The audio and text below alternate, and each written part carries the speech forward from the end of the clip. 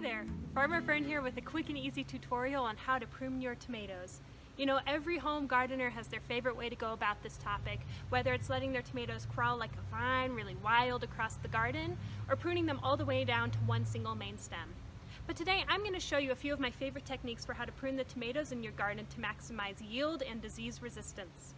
This gardening tutorial is part of a video mini-series from Boundless Landscapes in the Boulder Public Library, generously supported by the Boulder Library Foundation. All right, let's get started. Alright, so what I have here is a row of indeterminate heirloom plants, which most heirlooms are indeterminate. But whether you're working with a determinate or an indeterminate Terminant, it's getting hard to say that. The goal of pruning remains the same for all tomatoes. A, we want to remove excess organic matter so that we can increase airflow, and I always like to uh, mulch that organic matter back into the soil, which I'll show you in a little bit. Tomatoes are really, really susceptible to diseases, especially ones like early blight, uh, fusarium wilt, and septoria leaf spot. And so getting airflow into the plant is crucial in uh, helping prevent diseases and, um, you know, preventing overcrowding and diseases from humidity. We also want to increase yields. Uh, obviously we want as many tomatoes as possible, especially in a grow short growing season like here in Boulder. And so pruning your tomatoes can help increase yield. And lastly, we really want to create the ability to interplant beneath the tomato once it's reached a mature enough height.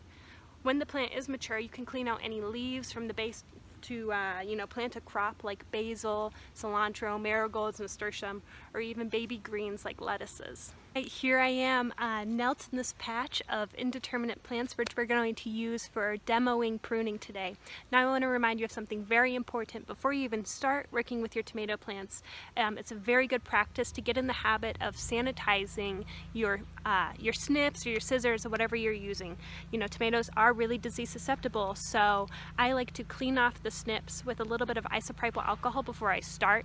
That way you know I'm not trim trimming this diseased tomato and then going over and trimming this healthy one and transferring that disease over, which can really easily happen with tomatoes. So go ahead and clean off your snips with a little bit of isopropyl alcohol. Alright, so let's go over the anatomy of the tomato plant because that's really going to help inform how we uh, prune these tomatoes, be it determinate or indeterminate.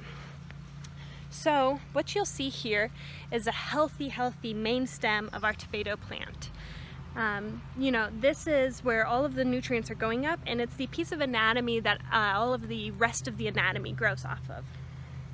What you see right here, if you can, is a um, set of leaves purely for photosynthesis. So these will never turn into fruit.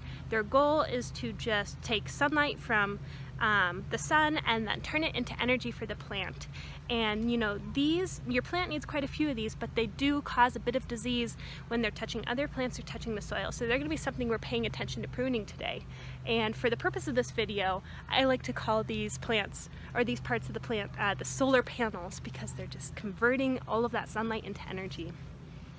What we have here is a set of blossoms actually and so you'll see that these are the little yellow flowers that when pollinated they um, set into the fruit which is happening right here if you can see it and those are branching off of our main stem.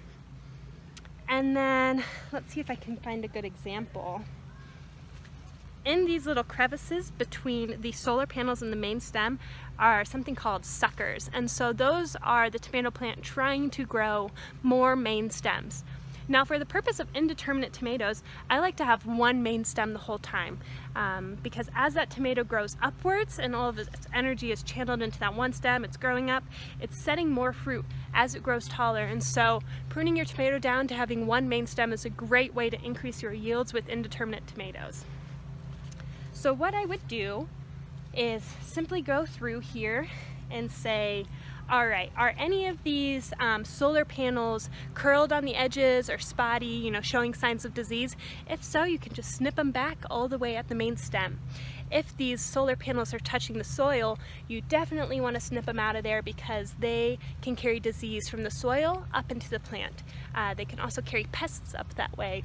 And so we just want to clear them out and make sure nothing from the tomato is touching the ground. All right, so this one's looking pretty good. We've done a lot of pruning this year. And now I want to take a look and just make sure that I'm not missing any other little suckers that are growing and trying to become main stems. All right, so what we have here is one sucker that was growing from the armpit in between a uh, in between a solar panel and the main stem and you can tell it's a sucker because it has the rest of the tomato's anatomy so it's turning into a main stem and you can see it's trying to set some fruit right here and it also has little solar panels of its own. I'm going to go ahead and mulch this one back into the soil. If you live in a longer growing climate than here in Boulder, uh, you can go ahead and propagate those. You know, and so now our indeterminate tomatoes pruned. You know, we've cleaned up anything that's kind of inhibiting airflow, anything looking diseased or touching the um, ground. You know, this one, I'm not really loving this leaf here, this solar panel. It's just kind of heavy and not really doing too much anymore. So I'm gonna go ahead and take that and prune it into the ground. And uh, you know, now it's looking good. No signs of disease and only one main stem, which all of the fruit is setting off of. If this were an indeterminate, we would prune it in a really similar way. Um, all you want to do is locate the top flower bud. So imagine this is the top flower ignore everything growing up above it.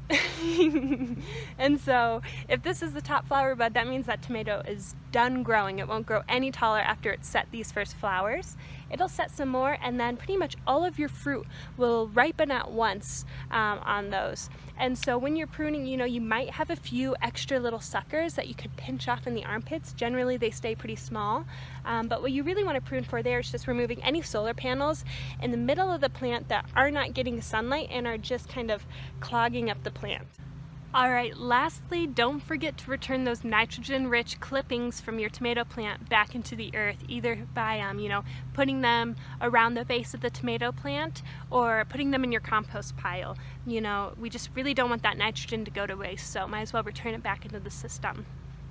So play with your pruning design this season, you know, and let me know what uh, works best for your space, your cultivar, and your trellising situation. You can go ahead and update us in the comments below about your favorite way to prune.